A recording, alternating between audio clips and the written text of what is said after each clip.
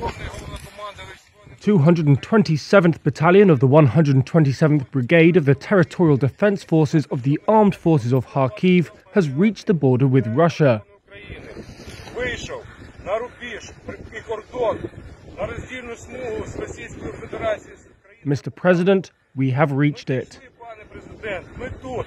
Ось з нами прикордонник.